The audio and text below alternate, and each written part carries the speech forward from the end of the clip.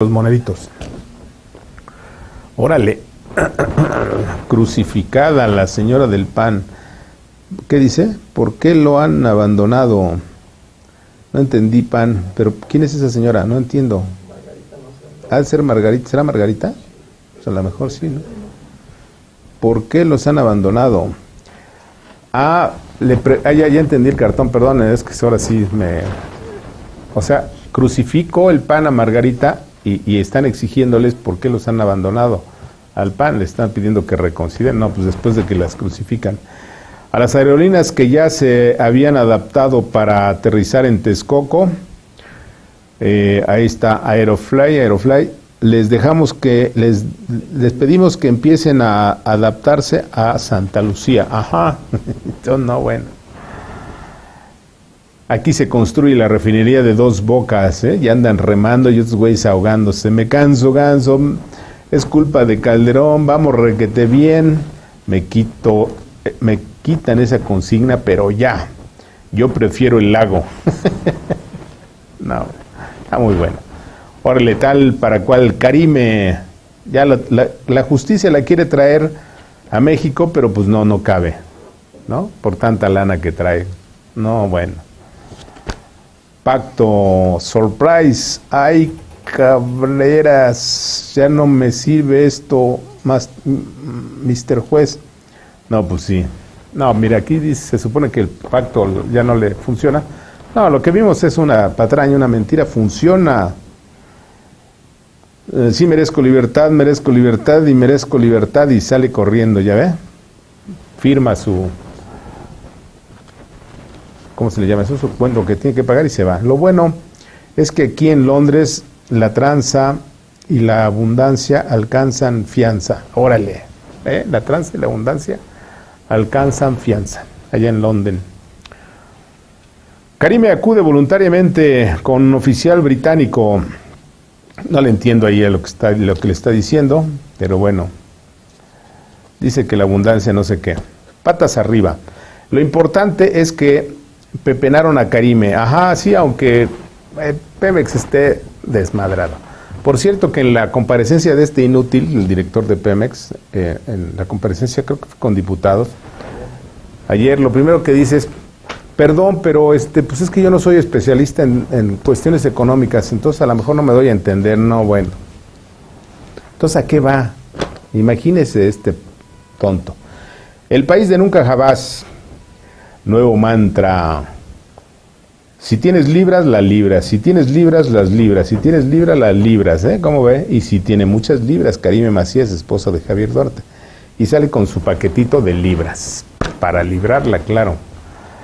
Para este Halloween, cuarta T, no, bueno, imagínese la muerte, ¿no? Oh, dale. ¿Qué más? Santa Lucía, aeropuerto. No, bueno, pues es como de quinta, ¿no? Romero de Shams no es prófugo de la justicia, es verdad, os dice, hoy mismo estará conmigo en el paraíso, dice, tómela. ¿Cómo ve? Romerín. Otro Pemex vuela, vuela. Atila. Eh, precios, ¿qué, ¿qué deuda? No, pues ya está el, el águila verdaderamente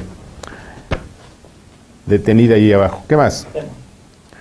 Bueno, la columna no es traición a Duarte, sino simulación de AMLO. Luego, ¿qué más sigue de esto?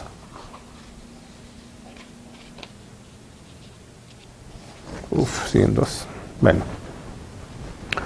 Aquí no sabemos si la supuesta detención de Karime Macías es parte de una traición del presidente López Obrador, traición de su gobierno, a su aliado Javier Duarte. Tampoco sabemos si el proceso de liberación de la señora Karime Macías es una simulación para declarar para declararla inocente junto con su esposo, el exgobernador de Veracruz. ¿Sí le ponen al aire? Lo que sí sabemos, sin embargo, es que el presidente López Obrador no suele traicionar a sus aliados, sino que al contrario, paga con creces a todos aquellos que lo ayudaron a llegar al poder presidencial. En algunos casos, incluso, a políticos y empresarios les ha pagado con jugosos negocios, todos sin licitación. A otros pagó con importantes puestos como regalar a sus esposas un lugar en la Suprema Corte o con una Secretaría de Estado para la pareja y, en el extremo, el presidente Obrador llegó a pagar con impunidad, como es el caso de Manuel Bartlett. Por eso resulta no solo sorpresivo, sino desconcertante que a petición de la, Real, de la Leal Fiscalía General, el gobierno de México haya solicitado la detención de la esposa de Duarte con fines de extradición, como si se tratara de una peligrosa criminal. Pero no, que nadie se alarme. La detención de Karime Macías en Londres no necesariamente es una noticia negativa para el aliado del presidente, el exgobernador de Veracruz. En realidad se trata de un procedimiento que busca cerrar el caso para que muy pronto los aliados veracruzanos del presidente Obrador puedan gozar de su fortuna sin ningún remordimiento y sin la molestia o la molesta persecución de la justicia. Cerrar el caso para dejar en libertad a Duarte y a su esposa, en efecto. Son muchos los indicios de que la Fiscalía General de Alejandro Gertz Manero se prepara para cerrar el caso Duarte como se lo pidió su jefe, el presidente Obrador, una vez que el exgobernador de Veracruz cumplió a cabalidad los compromisos contraídos. En efecto, como lo dijimos aquí desde el 2 de febrero de 2016, el entonces gobernador de Veracruz, Javier Duarte, se comprometió a financiar no solo el nacimiento de Morena en esa entidad, sino a pagar su participación en la campaña morenista al gobierno estatal de ese año, estamos hablando de 2016. Sin embargo, como todos saben, los cálculos políticos de Duarte fallaron y la elección estatal de ese año la ganó el exprista y vestido de panista Miguel Ángel Yunes, quien llevó a prisión a no pocos ex colaboradores de Duarte, luego que el propio Duarte fue enviado a prisión por órdenes del gobierno de Peña Nieto. Como también lo documentamos aquí a lo largo de los años, desde 2016 el entonces candidato presidencial y luego presidente López Obrador se convirtió en defensor a ultranza de Javier Duarte, a quien el hoy presidente le dio calidad de chivo expiatorio del gobierno de Peña. Y fue tal el compromiso de López Obrador hacia Duarte que luego de la victoria de Morena en Veracruz en la elección de 2018, el nuevo gobernador Cuitlagua García ordenó a su llegada la liberación inmediata de todos los colaboradores de Duarte, aquellos que Yunes llevó a prisión acusados de saquear las arcas estatales para financiar al partido Morena. ¿Por qué la pronta liberación de los cercanos al exgobernador Duarte? La respuesta es elemental, porque esos exfuncionarios públicos habrían operado la transferencia de recursos públicos al partido Morena y porque esos apoyos llevaron al poder a Cuitlagua García y aportaron millones de votos a favor de Andrés Manuel López Obrador. Pero el verdadero trasfondo de la detención de Karime Macías parece estar de la misma manera en otro lado y parece ser una simulación para recuperar la escandalosa caída en los niveles de popularidad y aceptación de López Obrador.